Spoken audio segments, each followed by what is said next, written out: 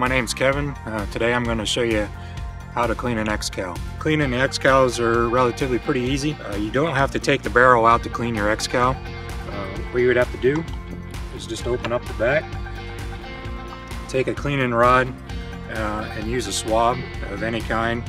Um, you can run it down from the rear and just push it all the way through until you come to the end.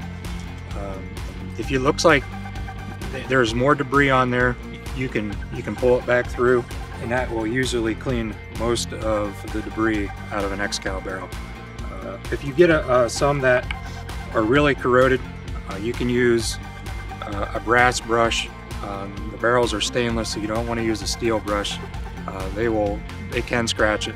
But if you get some barrels that are corroded pretty badly, you can just run your steel brush or your brass brush just run it down a few times, just, just run it back and forth four or five times.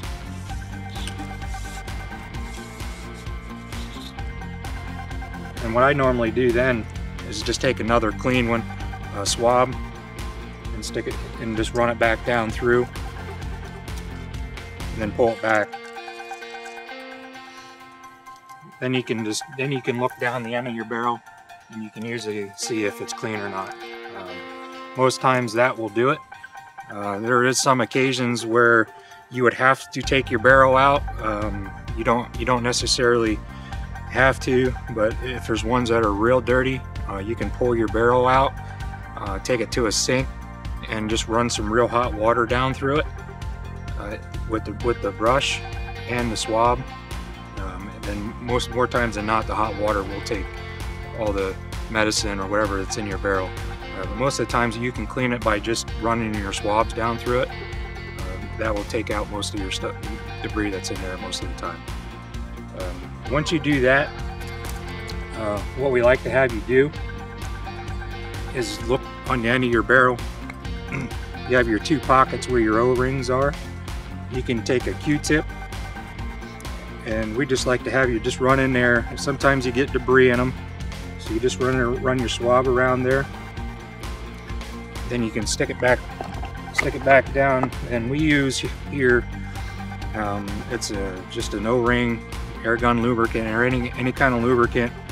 Uh, you put it on your on a, on a clean slab and put it on your orange o-rings that are here. Just re-lube those o-rings uh, keep them keep them lubricated uh, especially after you clean them or even if you use it a lot and uh, you see that they start to get dry. Uh, when you try to open it or close this, it will stick. Uh, the more the glue that you keep on those O-rings, uh, it make it easier for opening and closing. Um, if you find that when you try to open them and it's trying to pull the O-rings, the orange O-rings off of these bushings, uh, add some lube to them and that will keep that from happening. Know, make it easier for you to open and close your butt plate.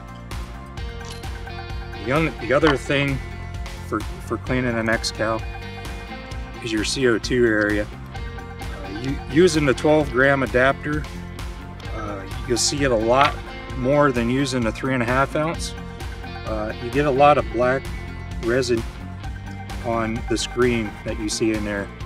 Uh, the easiest way to do that, you can just take a Q-tip and just run there on the screen and clean that out. Um, if you have an air hose or something, you can also use an air hose and blow it out. Uh, try to keep that clean. Um, there, there is a screen and a filter in there, but it also helps your flow of your CO2 going in. So try to keep that debris out of there. Um, that's pretty much all we do for cleaning an X-Cal.